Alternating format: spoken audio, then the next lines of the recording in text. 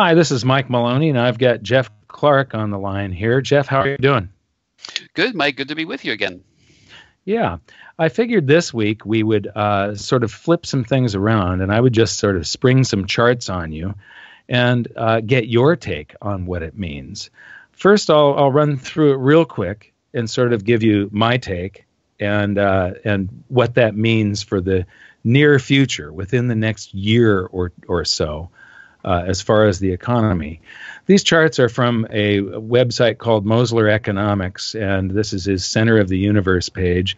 And what we've got here is an article called Credit Check. And when I look at these uh, uh, charts, they're all from the Federal Reserve's website, which I do quite often. I make charts on it.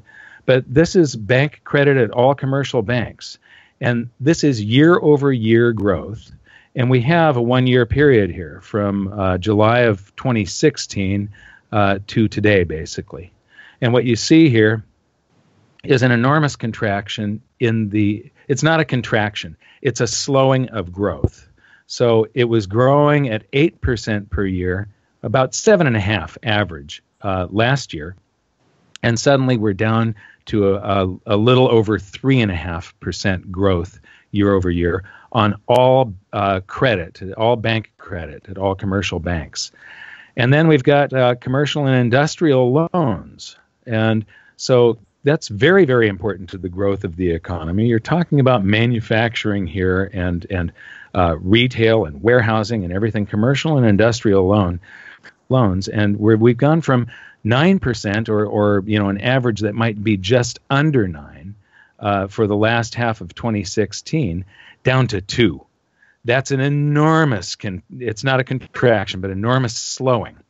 And what I see here in all of these charts is typical of the peak of a bubble and the popping of a bubble. The peak of a bubble, the popping of a bubble. Real estate loans going from, uh, this is all real estate loans from all commercial banks, going from an average of about seven and a quarter percent uh, for the last half of 2016 down to uh, four and a half percent. Uh, consumer loans going from eight and a half percent down to four percent. So, contra- you know, the slowdown is by a fifty percent slowdown in the growth of these things. Uh, consumer loans, which is credit cards and other revolving plans, that's different than these consumer loans, going from nine percent down to about four and a uh, third percent. Uh, consumer loans, other consumer loans like automobile loans and so on, going from almost 9% down to 3%. Uh, real estate loans, these are residential loans only, going from an average of around 4% down to an average of about one and, and uh, a third percent. So this is really anemic.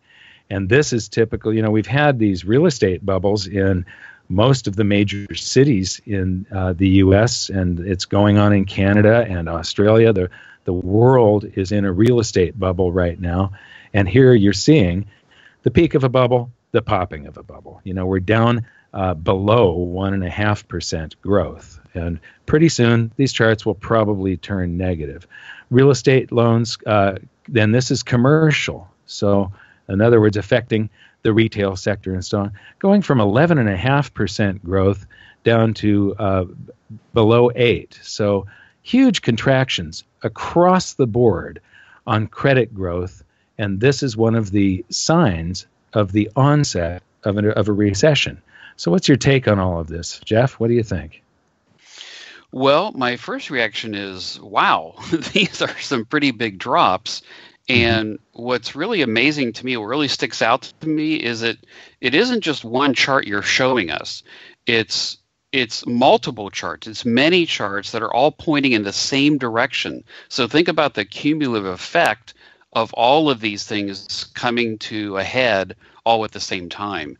Uh, they're clearly all pointing to some type of deflationary uh, outcome. Um, and, and, by the way, this corresponds really well with uh, the velocity of money that you've talked so much about and how that's really slowed and that's why we don't have inflation and and mm-hmm. and why we will get deflation um, and this seems to be the beginning of that uh, of a significant process working toward that goal. So my feeling is, uh, like I said, wow, the, the, the, cumulative effect of all of these things happening at the same time uh, could be rather significant.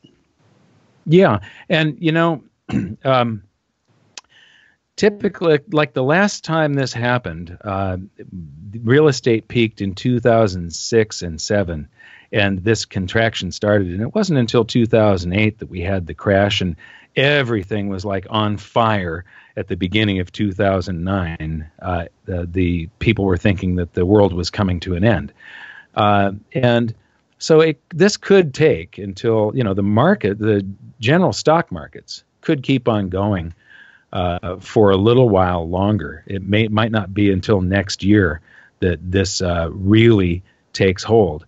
But this is the same type of sign that we had uh, at the peak in 2007, uh, where things uh, finally started. The, you know, the the growth direction stopped and then slowed and then reversed.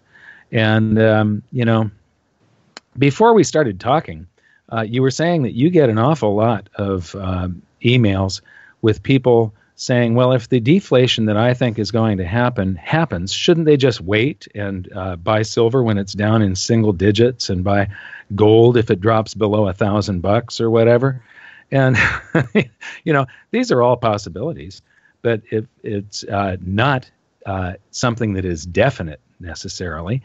And on top of that, uh, what happens is the paper price diverges from it's the paper price of gold and silver that goes deflationary, not the physical. The last time around, and with the last financial crisis in 2008, uh, the people that didn't have it, uh, that wanted to buy it when it was supposedly cheap, ended up paying a whole lot more for it because the paper price and the physical price diverged so much because they can create as much paper gold and silver gold as they want and sell it, and the price goes down. But uh, when that happens, demand uh, suddenly will go up, especially in the face of a crisis where people are uh, very worried and they run toward the, a safe haven asset. And uh, and that causes the shortages. Nobody can get it. And I mean, we had a a really tough time back in 2008, uh, just uh, acquiring gold and silver for the, our customers. So um, uh, what tell us about the questions you're getting from customers? That that is a, a question that seems to come in fairly regularly. Um, you know, wh- why do I need to buy now if deflation is coming and it's a big deflation and it's going to push gold and silver prices down. That that's the main summary of, of, of the kind of questions that I get or that I see. Uh, and what I tell people is, well, first of all, look, there's no guarantee that uh, a deflationary event is going to push gold and silver lower. It may, and, and there are examples of that, but it, th- that's not a guarantee. Uh, it, right, the last the, great the, deflation pushed it up. Exactly. Uh, and during the Great Depression, uh, you know, one of the worst in, in the history of the United States, uh, yes, gold prices were fixed, but the only gold that citizens could buy, private investors could buy, were gold stocks, and those soared. They were up four and five hundred percent, and that's just producers only. So there's there's no guarantee that it's going to fall. Now, if it does, I I know that you and I are going to buy a lot more. I'll be turning over couch cushions, but the point is we're prepared for crisis now, and that's what gold and silver are. They're crisis hedge hedges. And if the deflation is seen as a crisis event that causes fear uh, among the investment community, well, the paper price of gold and silver could just as easily soar as it could fall. So I'm prepared now, and I continue to buy now. I know you continue to buy now. And yes, we will buy more, probably a lot more, if prices do fall a lot. Um, but I, I just don't feel comfortable being completely unprepared with no physical gold and silver in the kind of environment that we're in now. And, and yeah. you know, these charts that you you know bring up here, they're like an early warning signal. exactly. Yes, the, the, the stock market and the bond market may continue to be in bubbles in the real estate market, uh, but that's not going to last forever. Nothing lasts forever. They will reverse at some point, whenever that is. I want to be, you know, ready now. So if residential real estate has uh, loans have dropped to less than one and a half percent year over year growth, uh, that means that the, the real estate bubbles are coming to an end.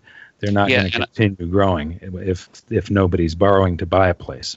Yep, and I, I sent a picture around a few weeks ago to you and everybody else at, at Gold Silver about the picture I snapped uh, one block from my house uh, of a street corner, and it had. I live in Northern California, and it had uh, four different realtor open house signs mm-hmm. on one corner from all different realtors. Four of them for a weekend and i thought boy that's a that's a sign of a bubble there if i've ever seen one that's the kind of thing yeah. i saw here back in 2006 so I, I mean, it's it's not going to last forever. It doesn't mean it's going to crash this week or next week, but it's coming. I, I think it's pretty easy for us to say it's coming. Yeah, the last recession we had was uh, 2008, early 2009, and so we've gone a, a very long time without a recession. This is now the third longest economic expansion in U.S. history, out of I believe 47 uh, economic expansions and contractions. Um, and Janet Yellen just said that uh, that because of changes in regulations and stuff, there won't be another financial crisis in her lifetime. Now I'm thinking either she's been diagnosed with something and told she's only got months to live, or or uh, she is totally clueless. Uh, like, uh, you know, the Federal Reserve, these people really don't know what they're doing. They're taking wild ass guesses. And it's a majority rules thing at the uh, FOMC committee. And they decide how to steer the economy. And when they do this, they interrupt the free market, which is an auto balancing uh, self correcting. It's called an anti fragile system, where when it breaks, it comes back a little stronger each time.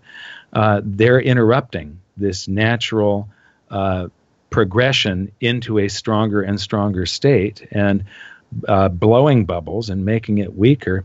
I can't remember what economist it was, but one of the most famous economists back in the 20s that was a Harvard or Yale professor declared that, uh, that, that we were in a new paradigm and we had reached a plateau of permanent prosperity. And I believe that was the day the markets peaked, and then they started the crash into you know they started this slide that became the crash of 29 and the Great Depression as soon as he said I, that. So here I, we got Janet Yellen basically telling us the same thing you know, I have to be honest. I had a really good laugh when I saw that. I, I, I, couldn't believe she said that. And I passed that around to a lot of family and friends, and I know we passed it around here at Gold Silver, but I, I just couldn't believe that she would say something that irresponsible. The first thing I thought of, and you probably did too, was when Bernanke said, you know, there is no uh, contagion left in the system or something like that in 2008, just months before the stock market crashed. You know that things were safe, right. things were stable. Uh, boy, I, I just yeah, can't believe it. these people have such a history of being so incredibly wrong, yet they still run things. It's a, right. Well, and that alone, and that goes right back to the question everyone's asking, or not everyone, but a lot of people are asking, why buy it now if deflationary is coming? Well, there's a reason right there. These people yeah. are telling you there's nothing to worry about, and boy, that's exactly the time you you want to be a little worried. You want to be stocking up on on gold and silver. Yeah. So I think we'll end that call with this. Thank you very much. Is there anything uh, you wanted to say in closing the uh, call? I think it's a good time to be buying right now. Um, we we put out a uh, an article last week about showing up about the seasonality of gold. So uh, yeah, that it put any reaches a low in in uh, the July area and then rises uh, for the rest of the year. Yeah. Yeah, so good this article. is a good time to buy. So I I personally bought um, three different times last week. So uh, I, I, bought more silver specifically. Uh, many of them were our products. So I, I, just think it's a good time to be doing that. It's a good time to be uh, adding to your ounces if if you're in accumulation mode. Yeah, and um, you know, with uh, the gold silver ratio where it is right now, uh, silver. I, I, haven't checked it today, but it's got to be back up near 80 or something like that with the beating that silver has taken lately, which means it's very undervalued compared to gold. So that's exactly what I'm going to be doing. I'll be making a, a few large purchases uh, this month and, and next, and and uh, getting ready. well, that's exactly think, what I'm doing. Yeah, I think that this uh, the event that's coming at us is going to be an enormous event because of the arrogance, uh, the uh, hubris, and uh, the of, of the people that are in charge, these uh, deluded Keynesians, and uh, I think uh, that the energy that's released that this is going to be a really bad event. it's I, am you know if you remember. Um, 2008, you know, we had uh, Bear Stearns, and then things got patched up, and everybody thought things were over, and then along came the Lehman Brothers thing. So it was sort of a two-stage collapse, and uh, I think that um, we're probably in for something like that, where there's going to be some big event, and and then all these Keynesians that are in charge, no problem here, move along, folks, nothing to see. right. I, I, I agree. I think it's going to be a series of events. There's going to yeah. be more than just one Lehman Brothers and Bear Stearns types of things happening. I, yeah. I think it'll be a whole series that's going to hit us. So I and want to be ready for that. and this time it's really global. I mean, we've got problems in China, uh, Australia, Canada. Uh, it's, um, you know, we had a big problem in Canada un- unraveling, and then Warren Buffett, Buffett sort of came in, swooped in, and um, uh, sewed up that problem and made, I, I was told, $13 billion in a single day, uh, uh, correcting that banking problem that was going on, investing in the bank and buying a bunch of the stock. So, um, uh, but uh, that does not alleviate the fund, the underlying fundamentals that uh, there's people up there that are way underwater on their mortgages and that there's uh, we've got um, you know, subprime is back, but that's back in the auto loan uh, portion of the economy, which is right here. And so, um, anyway, uh, I'm almost looking forward to uh, some of this. I, I, you know, I've been it's it's been sort of a long wait for the performance of gold and silver, but I have a feeling that uh, this is getting to be just right around the corner here. So I, I think these charts do serve as an early warning signal. So I, I agree. I think it's something we need to really be prepared for. It's something's coming. Okay. Thanks a lot. Uh, again, Jeff is the uh, chief investment strategist for goldsilver.com. And uh, I'm Mike Maloney. Thank you very much for listening.